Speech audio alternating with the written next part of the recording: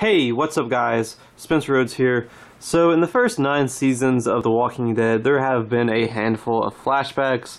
A few flashbacks that come to mind are the end of season four, where it shows before the events of season four, it's between season three and four, where Hershel is trying to make Rick more of a, of a, of a peaceful farmer person that isn't just a, a survivor that doesn't want to kill people anymore, and and Hershel's trying to teach Rick, and then Rick tries to teach Carl to be more peaceful.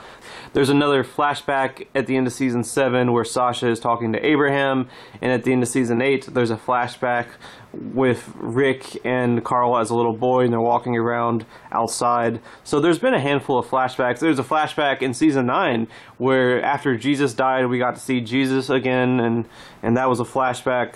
So there have been flashbacks on The Walking Dead. There's always been the, the occasional flashback every season or every couple of seasons.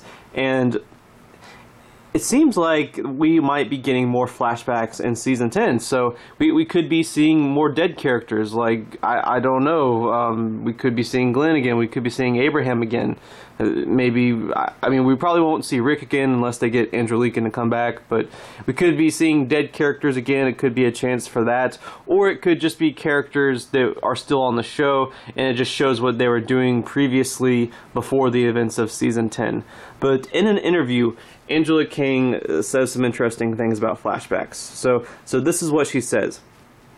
Yes, I will say that there's some flashbacks this season. One of the things we were kind of dealing with in the season has to do with illusion and people's fears and what's real, what's not, the weight of the past on people. So, we'll definitely see some windows into the past that kind of shed light on the present it should be interesting. And then she says, there is some other stuff going on. There's some pretty cool stuff, I think. So that's what Angela Kang has to say about flashbacks. So it seems like she's pretty much confirming that there are going to be flashbacks in season 10.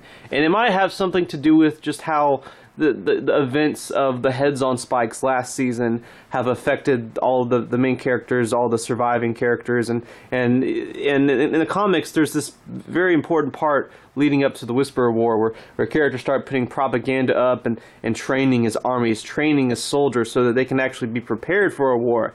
And and there's propaganda and like silence the whisperers and Rick even takes a really bad beating from a couple of people that try to kill him because they don't think he's he's taken action long enough and or he's not taking action quickly enough. And they might remix that with another major character since Rick's not on the show anymore. So I could see why why flashbacks might have some connection to that. At least just some connection to the whispers and how the whispers not like actually the whispers but the main characters the good guys like how the whispers are affecting them with the fears and, and the need to take action and fight back that might have something to do with whatever flashbacks we see, whatever flashbacks of whatever characters we end up seeing.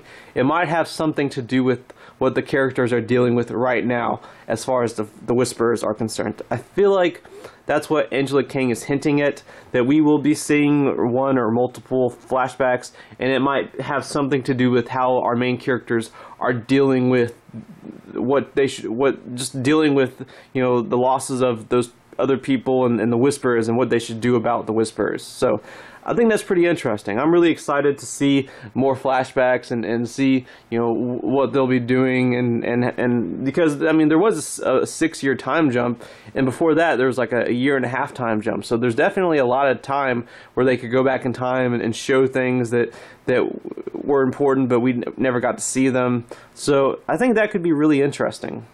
Uh, flashbacks tend to be pretty awesome in this show, so I'm pretty excited. Anyway, that's all I have for this video.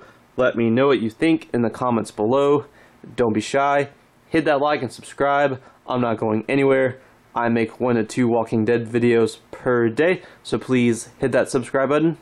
Right now we are at 604 subscribers. My goal is to try to get to 700 in the next few months. So just remember, every subscriber counts. Every bit of support matters and is very, very appreciated. Hopefully we can get to that goal of 700. Anyway, with all that said, I am Spencer Rhodes, and I will see you guys later. Bye!